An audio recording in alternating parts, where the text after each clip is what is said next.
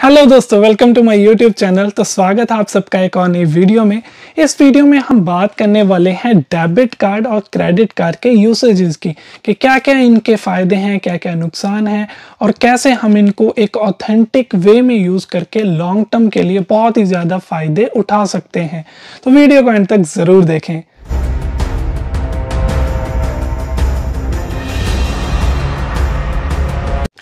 तो दोस्तों, जैसे कि हम सबको पता है कि एशियन कंट्रीज़ में इंडिया पाकिस्तान और हमारी उधर वाली कंट्रीज़ में हम नॉर्मली जब भी कोई भी चीज़ परचेज करते हैं तो हम हार्ड कैश यूज़ करते हैं। सौ का नोट, बीस का नोट, पचास का नोट, दो सौ का नोट, पैसे दो, अपनी चीज़ ले लो। लेकिन यहाँ पे ये जो ट्रांजैक्शन का सीन है, ये बिल्कुल डिफरेंट है। यहाँ पे नॉर्मल लोग जो हैं, वो 90 परसेंट तक की जो ट्रांजैक्शन है, वो इन दो कार्ड से करते हैं। आइदर डेबिट कार्ड या फिर क्रेडिट कार्ड।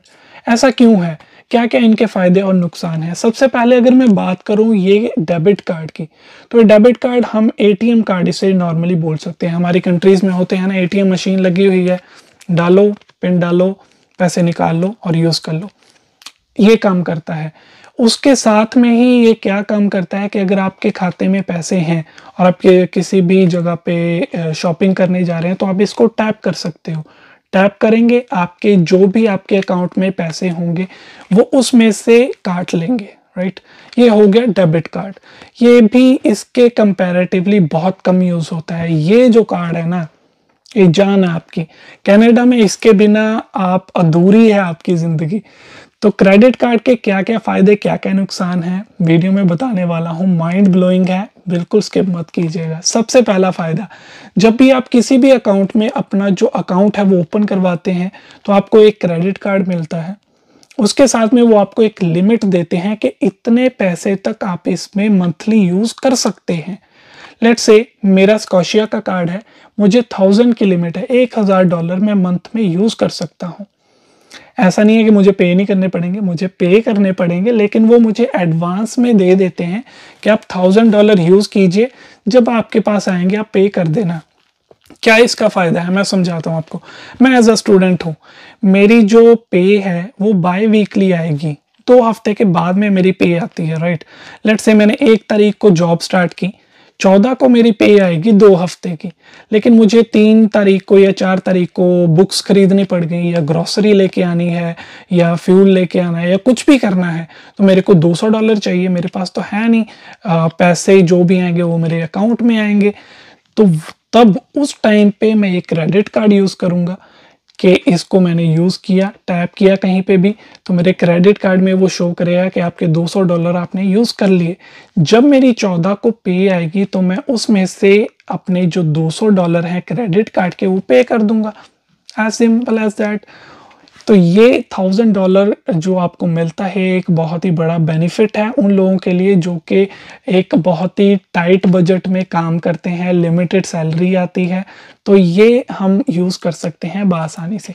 उसके बाद में जी सीन पॉइंट्स सीन पॉइंट्स क्या होते हैं कि जितना आप आ, इसको क्रेडिट कार्ड को यूज़ करोगे उतने आपको पॉइंट्स मिलते जाते हैं। आपके सीन पॉइंट्स आपके अकाउंट में ऐड होते हैं।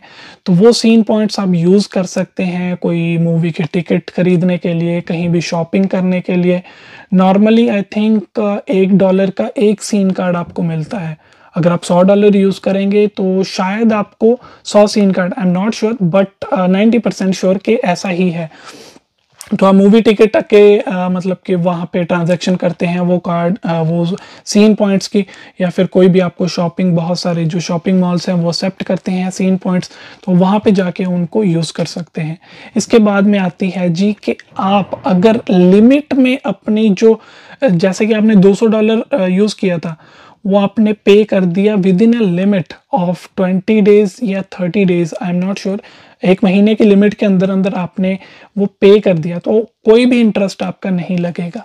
आपको ज़ीरो इंटरेस्ट पे थाउज़ेंड डॉलर मिल रहा है और क्या चाहिए राइट तो आप वो यूज़ कर सकते हैं। इसके बाद में जो सबसे इंपॉर्टेंट चीज़ है वो है जी क्रेडिट स्कोर आपने बहुत लोगों ने सुना होगा, अपने दोस्तों से, अपने फ्रेंड्स रिलेटिव से कि क्रेडिट स्कोर बहुत इंपॉर्टेंट है कनाडा में। क्रेडिट स्कोर क्या होता है बेसिकली क्रेडिट स्कोर आपकी लॉयल्टी चेक करता है, आपका एक स्टैंडर्ड चेक करता है कनाडा में। आपने 200 डॉलर पे कर दिया, आपने एक महीने में पे ही नहीं किया। तो वो आपका जो क्रेडिट स्कोर है, वो बहुत कम होता चला जाएगा। इससे बैंक को पता चलता जाएगा कि आप इस काबिल नहीं हैं कि आप अपने टाइम पे अपनी पेमेंट्स कर सकते हैं।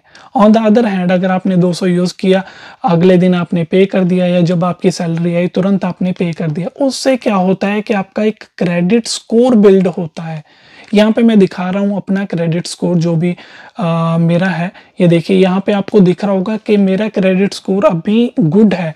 यानी कि मैं टाइम टू टाइम पे कर रहा हूँ जब भी यूज़ करता हूँ थोड़े दिनों में ही अपना जो बिल है वो पे कर देता हूँ। तो मैं सेफ़ साइड पे चल रहा हूँ राइट इसके साथ में ही इसका क्या फ़ायदा है? देखिए, कनाडा में लोग आते हैं तो अपना घर प्लान करते हैं कि लॉन्ग टाइम के लिए मुझे घर लेना है या फिर गाड़ी लेनी है या कोई भी ऐसी जो भी चीज़ें हैं बड़ी तो वो जब भी आपने परचेज करती हैं, आपके पास कितने भी पैसे हैं कैश में, लेकिन नॉर्मल केसेस में आपका क्रेडिट स्कोर चेक होता है। अब एक दो लाख का घर है, दो लाख मान के एक करोड़ का घर है तो आपके पास अगर पैसे नहीं है तो आप बैंक से लोन लेंगे। लोन लेने के लिए वो सबसे इंपॉर्टेंट जो डॉक्यूमेंट है, वो आपका देखते हैं क्रेडिट स्कोर कि आपने जितने भी पैसे बैंक के यूज़ किए हैं, कि आपने वो टाइम टू टाइम उनको पे किए हैं। अगर पे किए हैं, इसका मतलब आपका जो क्रेडिट स्कोर है वो अच्छा होगा।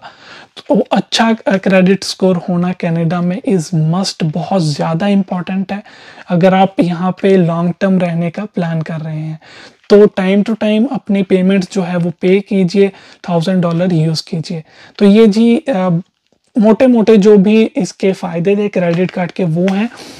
अब बात कर लेते हैं जी उल्टी साइड की क्या क्या नुकसान है? नॉर्मली हाई इंटरेस्ट रेट अगर आपने वो टाइम में पे नहीं किया तो ऑलमोस्ट आपको ट्वेंटी और 22 परसेंट तक का आपको इंटरेस्ट देना पड़ सकता है। 100 डॉलर आपने यूज़ किया। अगर आपने वो विद इन अ लिमिट नहीं पे किया आपको ई 120, 122, 125 डॉलर देने पड़ेंगे। 20-22 परसेंट का इंटरेस्ट आपको देना पड़ेगा। बहुत ज़्यादा इंटरेस्ट है ये। तो बच के रहिए इस चीज़ से।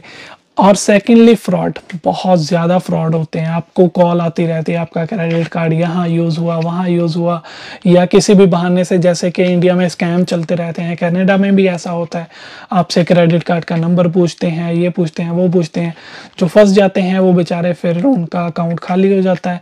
इसके बाद में अगर आप टाइम टू टाइम पे नहीं करते हैं तो जी आपका जो बैंक है, वो आपको रेड लिस्टेड कर देता है। आपके नाम आपका डिटेल वो सारे के सारे एक रेड लिस्ट में डाल देते हैं जिससे आप कोई भी लोन पास नहीं करवा सकते आइंदा से अपने जो भी अकाउंट है वो आ, मतलब कि आपका एक तरह का सीज कर सकते हैं वो। तो जे अगर ऐसा होता है तो बाकी जो भी आपके अगर दूसरे बैंक में भी आप अकाउंट ओपन करवाने जाएँगे कहीं ना कहीं वो आपका उस पर भी बैड इम्पैक्ट डालेगा ही डालेगा। तो आई होप कि ये सारी की सारी जो चीज़ें हैं वो आपके समझ आई होंगी और आप इन चीज़ों का ध्यान रखते हुए क्रेडिट और डेबिट कार्ड को कैनेडा में आके यूज़ करेंगे। अगर इसके रिलेटेड या और कोई भी आपको क्वेरी है तो इंस्टाग्राम की आईडी मेरी मेंशन है। आप डायरेक्ट मुझे मैसेज कीजिए, आपको जवाब मिलेगा। वीडियो अगर अच्छी लगी तो लाइक करें और चैनल को सब्सक्राइब मत करना भूलें, क्योंकि आने वाली वीडियोस बहुत ही ज़्यादा इंफॉर्मेटिव बहुत ही ज़्यादा अच्छी होने वाली हैं। तब तक के लिए ऑल द बेस्ट और कनाडा आइए, अपना फ्यूचर बनाइए।